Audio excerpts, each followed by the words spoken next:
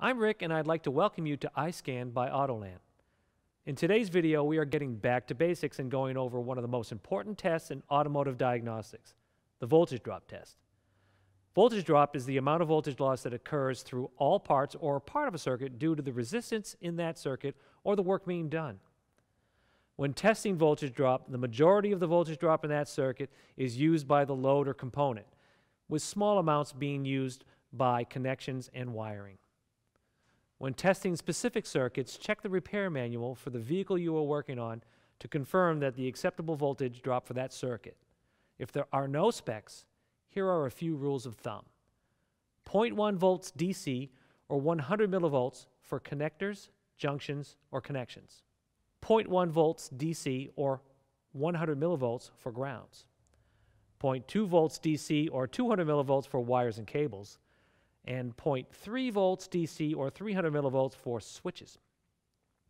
When testing, keep in mind that the voltage drop in the circuit should drop across the component or load and not in the connections or wiring to the component. To perform a voltage drop test, you'll need a DVOM with test leads and varying test probes. I always have alligator and pinpoint style nearby. Now, before testing the electrical system on any vehicle, make sure the battery is fully charged. We're going to turn our DVOM on to DC volts and connect positive to positive and negative to negative. Our battery is fully charged at 12.7 volts. That's a great reading. In this example, we're going to test the starter motor circuit. Let's start with a positive cable to the starter. Begin by setting your DVOM to DC volts. Positive test lead to the positive on the battery. Negative test lead to the positive connection at the starter. Okay, we're going to activate this starter. Go ahead and crank.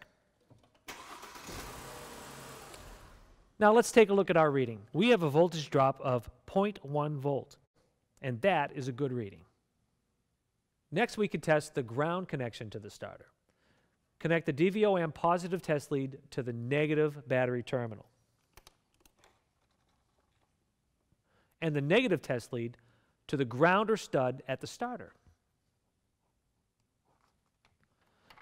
Now we'll activate the starter.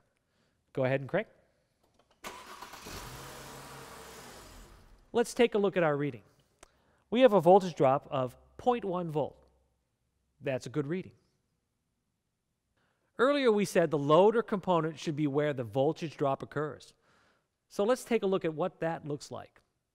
Connect the DVOM positive test lead to the positive battery terminal and the negative lead to the negative connection at the starter. Now we're going to activate that starter.